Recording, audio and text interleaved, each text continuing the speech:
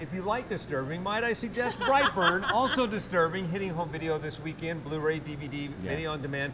Uh, I love about this movie the fact that it, it you think you're going to see a big blockbuster superhero movie. Yeah. It too kind of has an indie film at parts. 100%.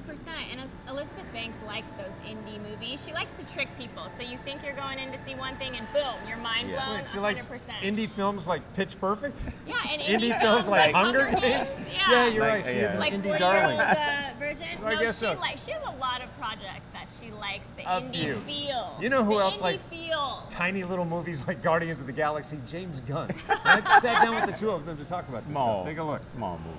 this character pretty much was my mom because I have to. I'm an angel, but my brother's not so much so. But my mom, no matter what my brothers did, my mom would say, "You know, that person had it coming to him."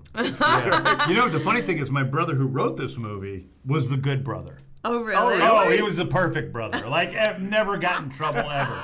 I was not such the good brother. No. Yeah. But yeah, that's true, huh? Yeah. If he's the good brother and some of the it's going through his mind that comes out in this movie, You know, but that's where the sick ones are, aren't they? Yeah, he seems like he's all I know, I'm a totally good at two shoes, and I was like, yeah, I want to be in this movie. Yeah. You had an interesting point about this movie. This movie gave me like just generations Carrie, that Carrie feel.